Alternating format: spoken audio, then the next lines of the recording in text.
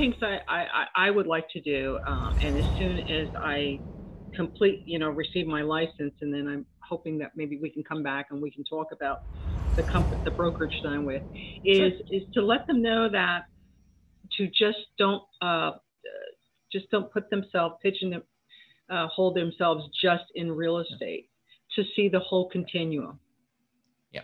And that means that they need to get some information on the whole mortgage loan inside of it.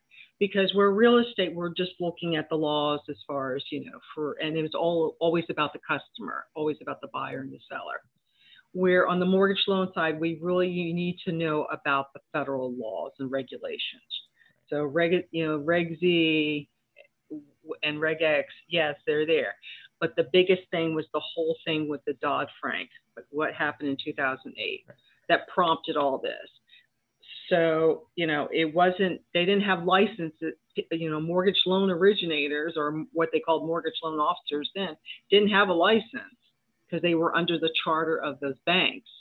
Well, now we, so the license came out after the 2008 with the, you know, with the whole craziness, um, Countrywide being one of the biggest offenders during that time of mortgage lenders. So now you have all these folks now they have to get the license. And um, I think, and, and the biggest thing was knowing the laws and knowing those regulations.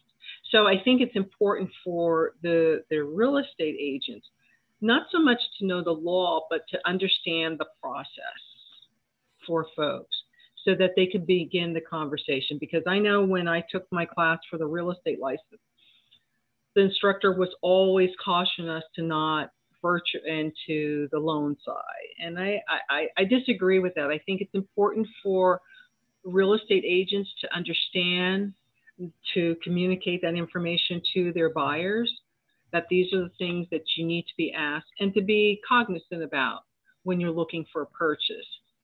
And not to say to them, well, that's something you have to have a conversation with your loan officer about. Because the loan officer may or may not give them all, may not always be acting in their best interest. I feel as real estate agents, we are always acting in our client's best interest. Whereas the mortgage loan officer, probably not because we don't have that same type of relationship.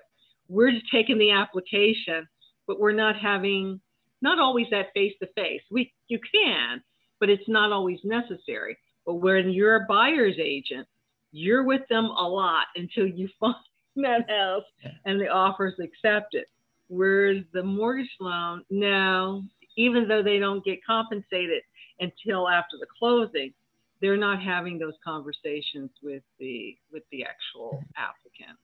So I think it, that's where the I would like to come back and have that conversation and why it's so important that we be that that hybrid is I think it's going to be part of the future because I think it has to be because quite frankly, I'm, I don't know, I have this feeling that perhaps it's going to be emerging. And when I say emerging, there's, I think you're always going to be a need for a real estate agent.